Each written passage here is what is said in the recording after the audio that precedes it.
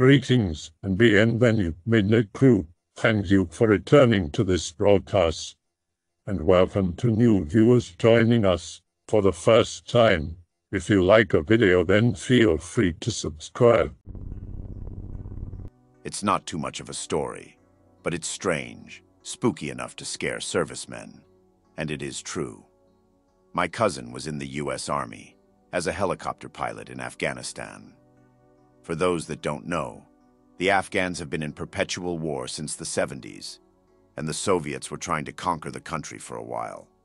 The U.S. Army occupies a lot of the old Soviet structures, since they are the only buildings around that aren't mud huts. When my cousin was stationed at Bagram, or Kandahar, not asking him to clarify which base he was at, he'd think I'm weird. He and a couple other men slept in an old, decommissioned air traffic control tower. This tower was riddled with bullet holes and was the site of one of the Soviets' last stands before they gave up on the country. The place had been abandoned for decades when my cousin moved in, and after a couple of nights, he and the other guys realized there was a hole in the corner of the first floor. They had moved a dresser drawer into the corner, and it crumbled the patch of floor underneath. After someone poked a flashlight through, they realized there was a basement below and could make out guns, camouflage clothes down there. My cousin and his buddies rummaged around, trying to find the door to the basement. After knocking on the walls, they eventually found a disguised, hidden door. Boarded up from the other side, locked. They eventually broke through the door and realized the staircase down to the basement had been blown apart. My cousin said it looked like the previous occupants used a couple of grenades, since the blasts weren't huge, but were enough to demolish the stairs. There were dead bodies down there as well, basically mummified over so many years. There wasn't even a smell left, to give you an impression of the state of these corpses. The weird part is thinking about what happened. For whatever reason, these mummies had boarded up the door from the inside and seemingly trapped themselves within by blowing up the stairs. Meanwhile, the people on the outside hid the door. My cousin and the rest of the men in that building could not understand what was the thought process there. It seemed very abnormal, and it was only a few weeks before the troops moved out of that tower on the orders of command. My cousin is still in the military, but for whatever reason, the sight of the basement was enough to keep his mind running loops on it. He's seen plenty of people die.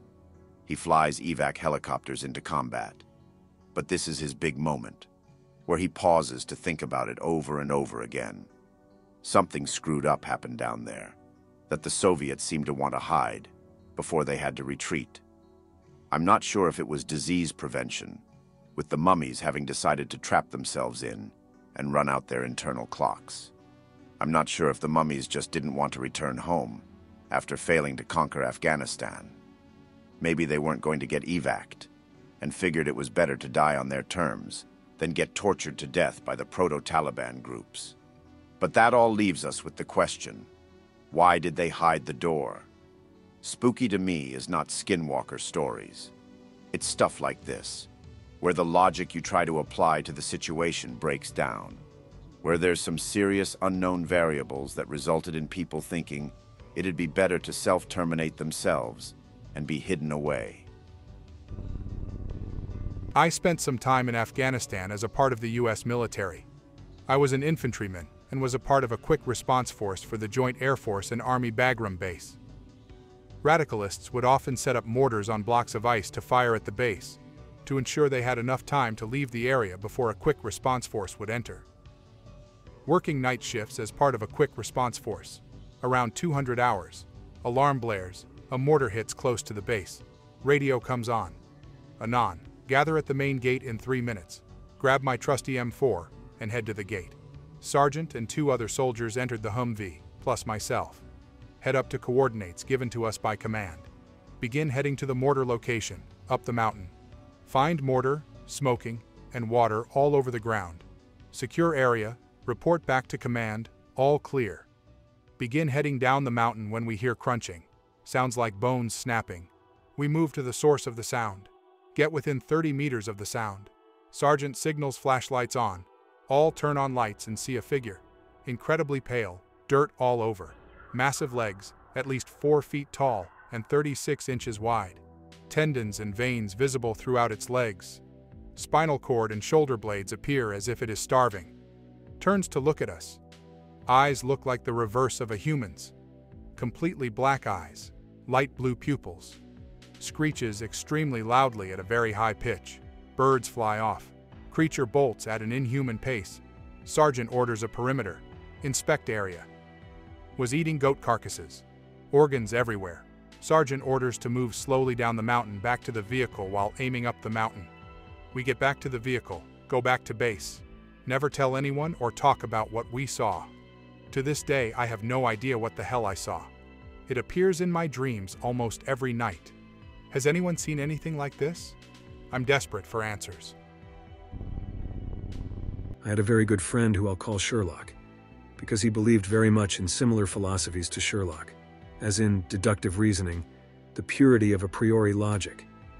I've heard him over the radio when he's being shot at and having RPGs fired at him, and he sounded as calm and relaxed as somebody on holiday in an ice cream shop, specifying what flavor they wanted.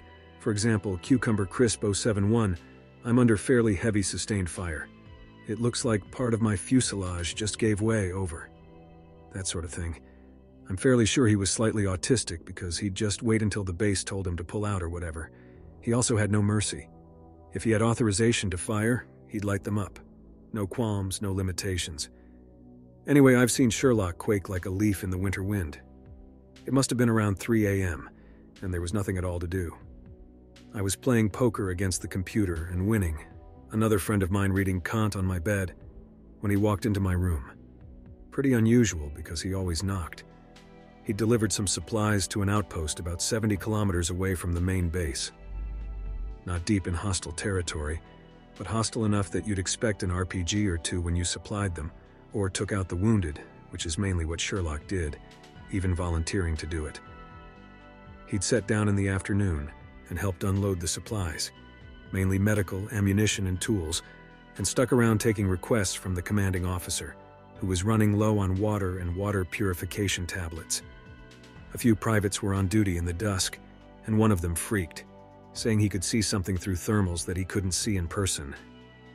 This piqued Sherlock's curiosity, so he had a look.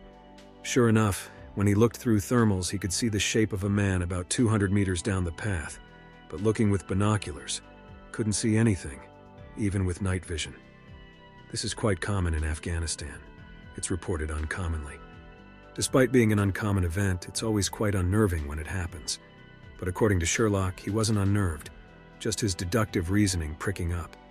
First, he thought the thermals were dodgy, so he used another set, then another set. Then he thought the binoculars were bad, so he used another pair, which weren't just thermal imaging, but infrared night vision. Rather than the shitty green tinted type, it was a grayscale type, which showed significant detail. Now, on the infrared grayscale, he could see it, Apparently it was a human in everything other than having a head. The body was human, perfectly proportioned, but there was no head. Now, the other night vision didn't show this. Sherlock, armed with nothing other than our standard issue Browning High Power, and probably just a single magazine, strolled 200 meters down the path to see if he could see anything. Apparently not, though he said it felt unusually chilly and he did feel quite uneasy. It was on his way back when he heard soldiers shouting. Looking behind him, he saw four or five putrefied bodies shambling after him. He described the smell as rancid, and their look as if they had contracted the vilest leprosy. They were moving pretty quickly, and he could see body parts, fingers, hands, even an entire arm, drop off. When he said they were like the walking dead, I felt a chill go up my spine, and my friend reading Kant actually looked up at us. Sherlock said he shouted a warning to the bodies, apparently rotting as if dead for a few days, appendages and torsos swollen from the sun, and as they continued to gain ground on him, began opening fire. Despite one of them being hit several times, losing most of its shoulder and through the stomach, it single-mindedly continued pursuing Sherlock, who, for the first time ever, sprinted away. A rifleman at the outpost shot them with a more high-powered weapon and killed, re-killed, one of them as soon as one of them went lifeless. the others would single mindedly stuff their faces full of flesh, just tearing it off limbs and bodies. No shame, no disgust, like they hadn't eaten for days. At this point, the fellow reading Kant piped up. He'd heard of similar stories in his journeys to outposts. Some American soldiers, badly injured and delirious in the sun, told him how they had seen their brothers in arms set upon by filthy mujahideen and ripped apart, alive. Limbs ripped from bodies, heads from necks, and how they would rip the flesh off with their long-nailed fingers, gouging it out or bite it off the bones. They had said only fire or high-velocity weapons, not small arms, could stop them. Afghan soldiers, when mortally wounded, prefer to self-terminate themselves than be captured, because they've heard the stories and know the folklore. It is true they self-terminate themselves. I've seen it. I must also admit, as I became more experienced and hardened to the oddness of Afghanistan, I also heard quite a few of these stories myself, to the point where they don't even worry me anymore. I think I even saw a herd of them rampage through a village, but it's Afghanistan, so they could have been tripping on opiates. My stepfather was a Green Beret, retired major, and he spent five plus years in and out of Afghanistan. He told me a story when I graduated high school while almost blackout drunk about why they should have nuked Hasty. In his ramblings, he mentioned about a specific scenario where he had to engage a small Taliban group, around 11-ish people, on the outskirts of the town near a walled compound. Naturally, the Army Special Forces wiped them out while leaving no survivors. However, for some reason, Command ordered them to secure and sit in the compound after clearing it for explosives and additional people. He said they were stuck in the compound for around eight hours when the very dead Taliban began to get up and try to attack them without weapons, and while screaming almost inhumanly near the end of their stay in the compound. People whose entire stomachs had holes larger than a bowling ball blown in it got up to attack them hours after having been killed. He said they went down and stopped moving when their heads were blown off.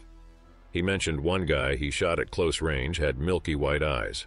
They got out of there when allowed and reported it up the Combat Operations Center. However, apparently nothing came of it, and the excuse was that they were playing dead, even though most of them had massive holes in them with no guts, etc., from being show with high-cal weapons to try and take them off guard. He never saw anything like that again, but I saw the look in his drunk-ass eyes when he relayed this story to me, and it hit me deep because I don't think he was bullshitting. The human body isn't as fragile as people think it is. Anger and drugs are great at blocking out pain, too. It was probably just tweakers. I've never served in the military, but I know people who have. According to them, the real spoopy things in those regions is all the freaky wildlife that comes out at night.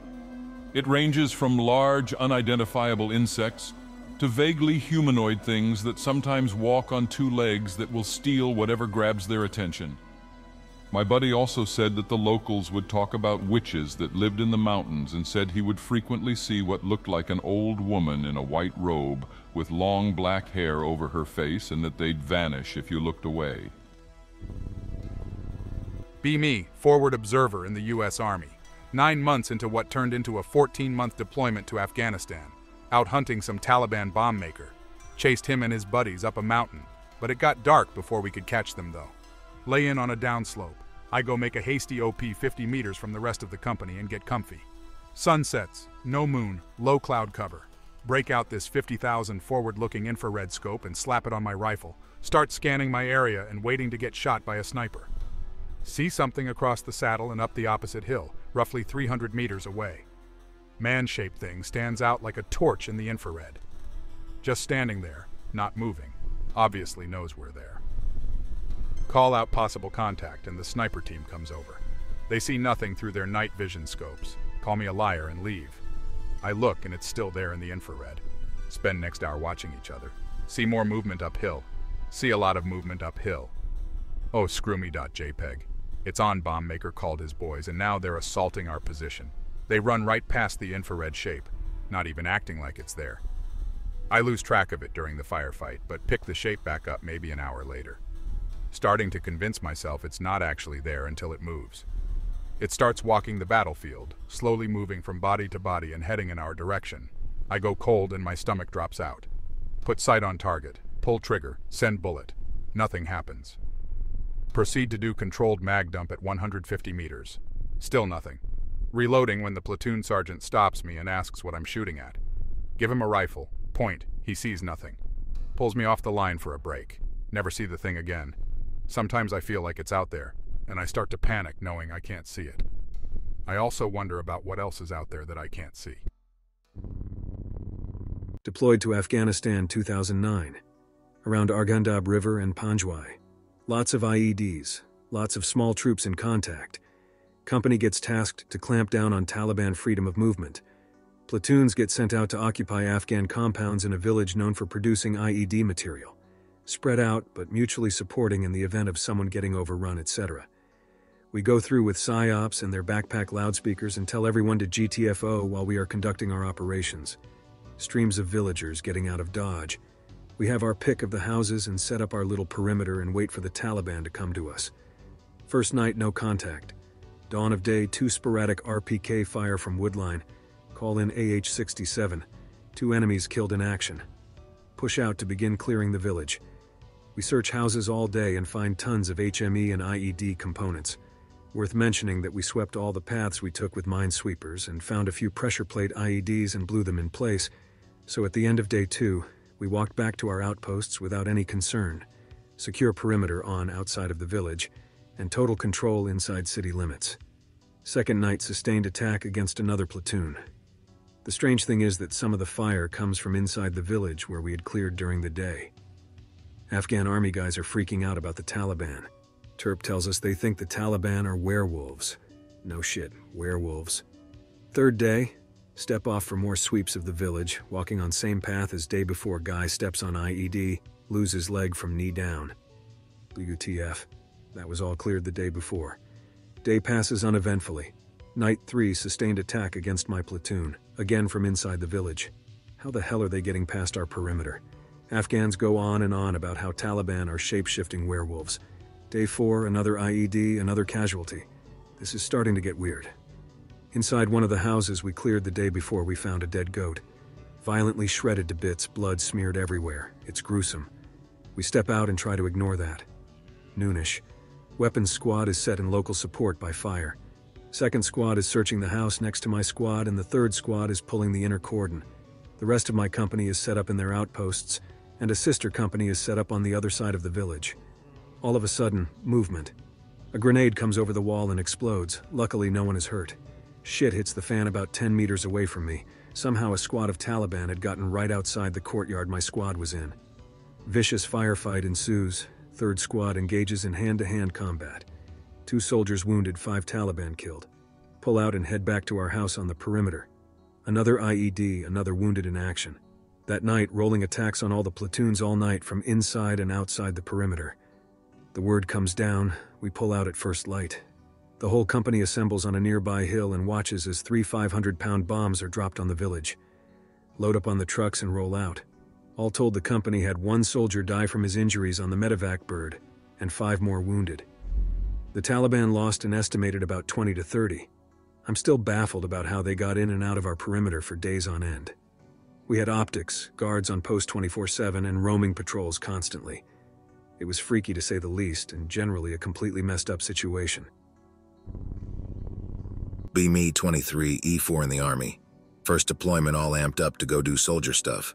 We fly through Germany, then into Bagram, Afghanistan.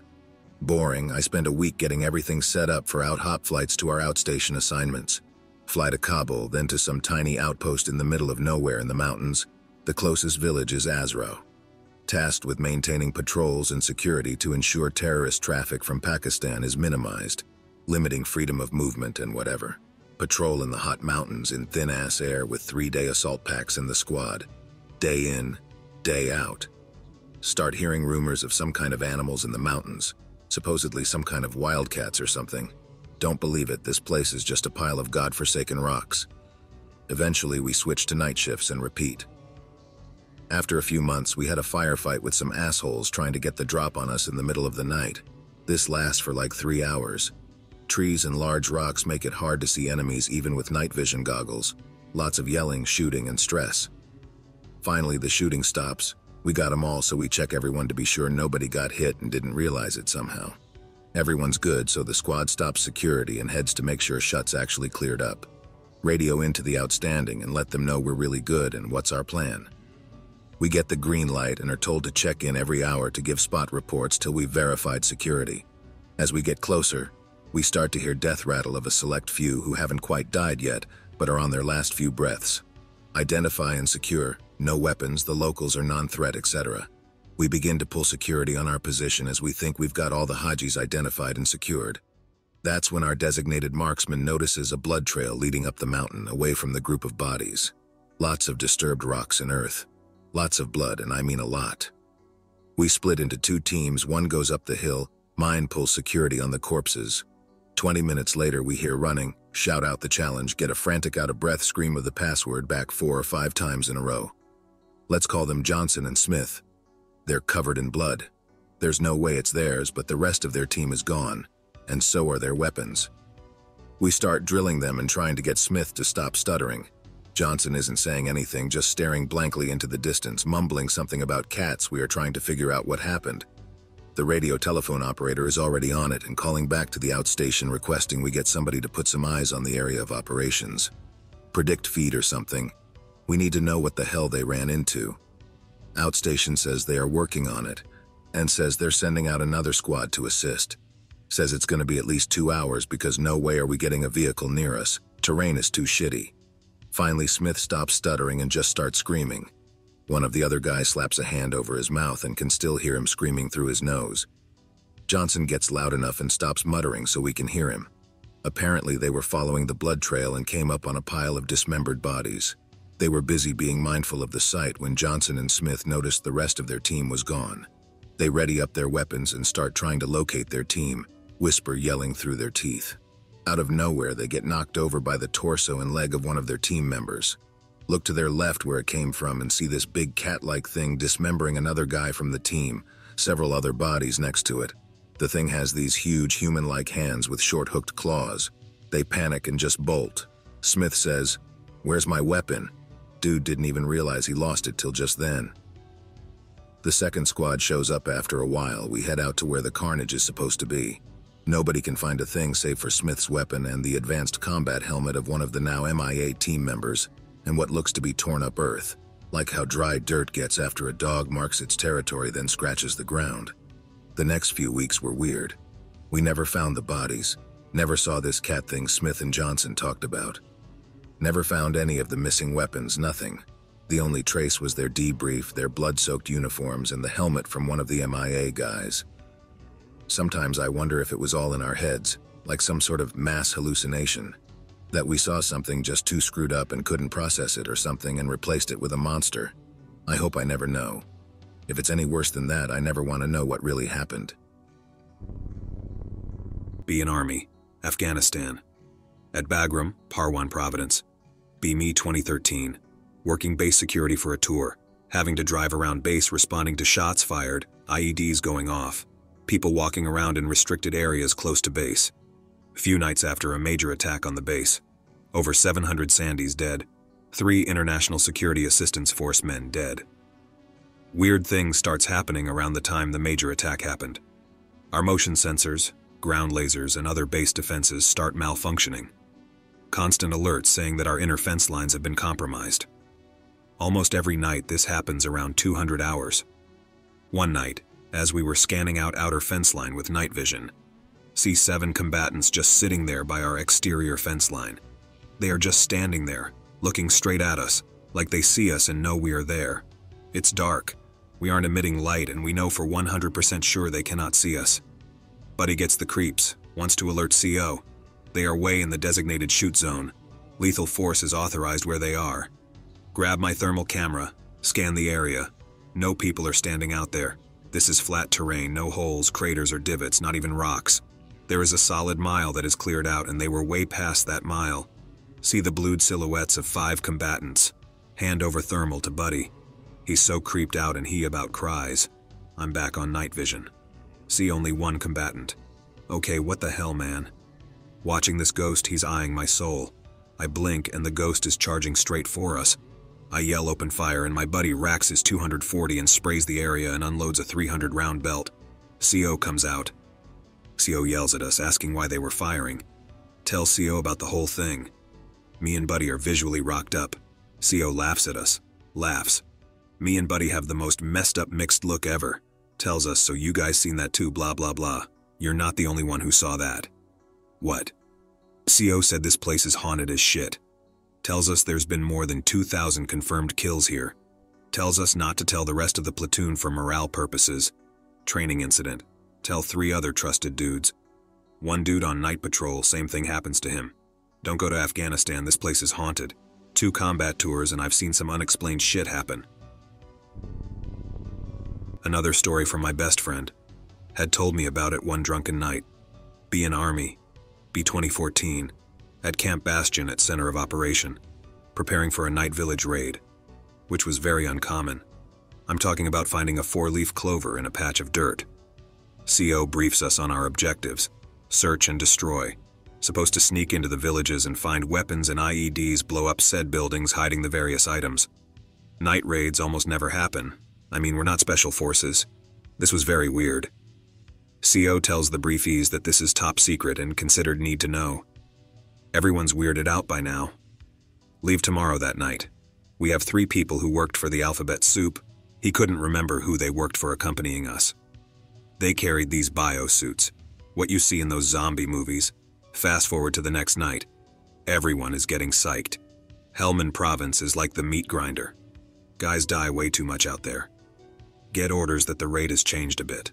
A bit. Half the teams will separate out. His team was to go into the farm side of the town. Another team took the main center. Have these black suits riding with us. Not the typical black suits, they knew how to handle weapons. Didn't flinch when the .50 vibrated the Humvee. Fast forward two hours, the team starts pulling into the villages. We had a big spotlight on our front of the Humvees. Suits order them to turn the spotlight on. They ignore them, typical I don't take orders from you. After a few minutes of arguing, they turn it on. Round a corner wall. Four combatants standing outside of a little metal building, size of a hut. They give the gunner a very weird look. Suits tell the gunner to open fire. Can't unless we're being shot at. They start running towards the three Humvees they have that meth head look at them. The gunner opens fire. Red everywhere. A few seconds later, six combatants run out of the shack, shaking their hands in the air. They have this weird-ass look in their eyes, too. They charge the first Humvee. They start to punch the ballistic glass and actually leave indents in it. The second Humvee opens fire. The suits order everyone to stay in the vehicles. Suits and his squad get out of the Humvee. Suits put on their biosuits or whatever. As standard procedure, we must check the dead for intel. They tell them that they must not go near the bodies or the blood or bad things will happen. Bad things. They then told them that they'll take care of them after they're through here. They follow them to the metal hut. Suit tells them that they need to stay outside because something bad is inside. Fast forward 30 minutes into it.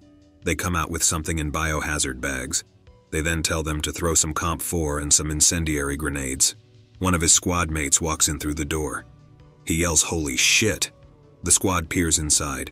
They see what appears to be either a really fancy meth lab or a biological weapons lab. They get the chills and they blow the lab to the ground. Suits check the squad mates with those blue flashlights. Everyone clears inspection. Two of the suits drag all the bodies that we smoked into a pile. They ask us to throw some of the Humvee's gas and burn them quick. They burn the bodies. Suits take off gear and throw it on top of the burning combatants. Suits mutter that it's not good to be around this area for much longer. OP is called off and they were to return to base ASAP. The suits debrief them saying that it was a meth lab of some sorts. Everyone in the company is in fear for the rest of the deployment. TDLR.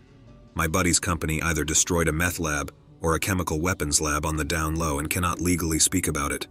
They violated multiple Geneva laws and did shady stuff. I have one and it is about Great Uncle Donnie. Afghanistan 2010, deployed into the Horn, on a dismounted patrol. Boom. RPG impact over us. We start taking fire from RPKs and RPDs. We deploy and start taking firing positions. I am firing my saw. Then I see a flash of light. Then I went deaf and blind after the flash and boom. An RPG explodes right in front of me. I am breathing heavily on my back when I regain my sight bleeding from several parts of my body. It hurts, man. All I can think about is wanting to sleep the pain off. I feel like someone just punched me in the chest. I open my eyes and see a man wearing an old helmet. He is looking me over and then yells, I got you, buddy. I feel myself being picked up on my feet and he walks me back to our MRAP. He puts me down on the ramp and disappears. I woke up in a field hospital. They got most of the shrapnel out of me. My command team comes in and tells me the story where I blacked out wounded. I apparently got up in the middle of the firefight, held out an arm, and staggered like I was a zombie all the way to the medical MRAP. I was medically discharged from the Army in mid-2011. At home helping grandparents rearrange and organize, going through old boxes of photos. I freeze at one photo. It is a photo of great-grandma, great-grandpa with great-aunt Stella, great-uncle Paul, great-uncle Bob, grandpa Mike, and a soldier in uniform. The soldier? It was the man who saved my life in Afghanistan. Grandpa Mike tells me about Uncle Donnie. Great-uncle Donnie was in the 32nd Infantry Division. He died July 27, 1942 in Papua New Guinea. He was posthumously given the Bronze Star with Valor for braving heavy enemy fire to save a wounded comrade. After dropping the wounded man, he turned right around to rejoin the fight. He didn't make it one step forward before he was hit in the chest by a bullet. I hope that you enjoyed tonight's broadcast. If you enjoyed tonight's story, then please subscribe to the channel as more green texts will appear daily. A new broadcast will appear when the clock strikes midnight Central Time.